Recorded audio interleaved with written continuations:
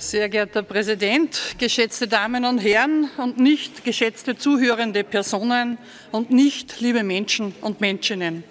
Gendern regt die Menschen auf und wir Freiheitliche haben dafür vollstes Verständnis.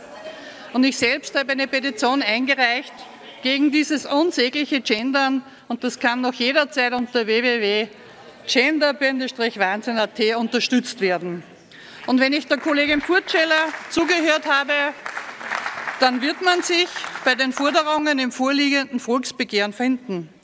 Gendern darf nicht verpflichtend sein. Natürliche oder juristische Personen, die nicht gendern dürfen, keine Nachteile erfahren.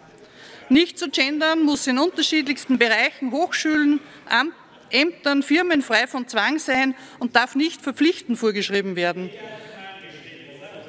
Das sind die Forderungen, die im Volksbegehren stehen. Sie können es nachlesen. Das Recht, nicht zu gendern, muss der Einstellung des Einzelnen überlassen bleiben und soll eingefordert werden. Und dieses Volksbegehren ist zu Recht von über 154.000 Menschen unterschrieben worden. Denn es ist wirklich eine Wok-Bewegung entstanden. Eine Wokeness-Aufgeregtheit, die in einer selbsternannten Elite endet, die mit Gender-Sprachkreationen unsere Sprache wirklich verunstaltet. Und eine, eine Elite, die sich jetzt wirklich mittlerweile zu Richtern aufspielt und uns erklärt, was die richtige Sprache ist. Die Genderitis führt zu einem Verlust des Sprachflusses und zur Unleserlichkeit von Texten.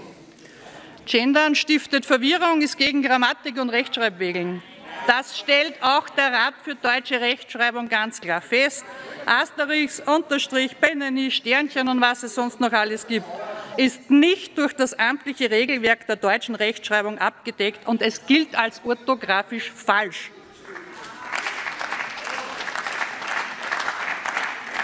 Mutter wird zum Geburtselternteil, Muttermilch wird zur Menschenmilch und spätestens, wenn man von Schützlingen und SchützlingInnen spricht, ist man beim Genderwahnsinn angekommen. Laut Befragungen sind 96 Prozent gegen die Genderei im TV, 66 Prozent, und das sind zwei Drittel der Menschen, sind ganz klar gegen diese Genderitis.